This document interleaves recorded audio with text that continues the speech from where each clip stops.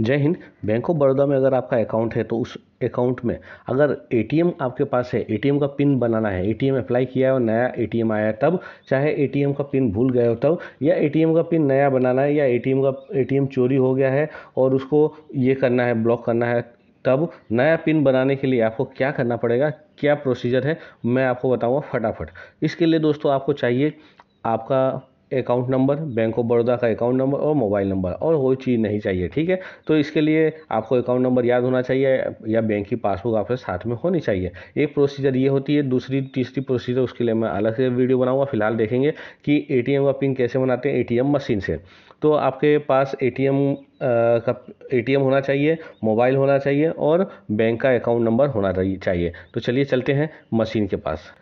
तो bank of Baroda के machine में जाइए एटीएम मशीन में एटीएम मशीन में जाते ही कार्ड डाल दीजिए अंदर। अंदर कार्ड डालने के बाद आपके सामने ये स्क्रीन आ जाएगी।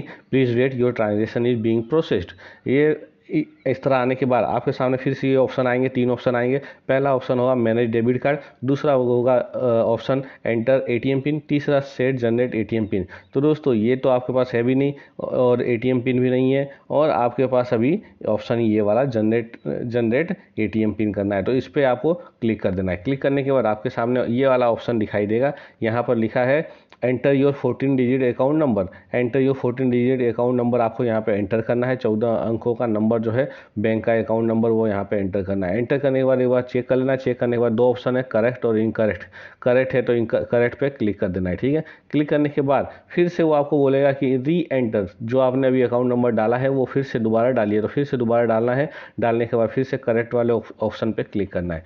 ऑप्शन पर क्लिक करने के बाद आपके सामने ये वाला ऑप्शन आ जाएगा। इस पर आपको enter your ten digit mobile number ठीक है? तो आपका जो mobile number register mobile number है, वो एंटर करना है करेक्ट एंटर करने के बाद यहाँ पर क्लिक कर देना है प्रेस इफ़ करेक्ट ठीक है? और उसके बाद फिर अगले स्टेप पे आना यहाँ पर लिखा है please enter one time password.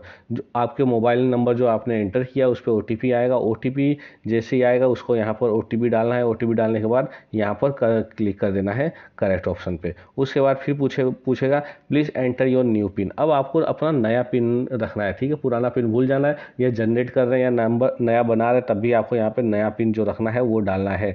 डालने के बाद आपको फिर से आपके सामने फिर से ऑप्शन आ जाएगा।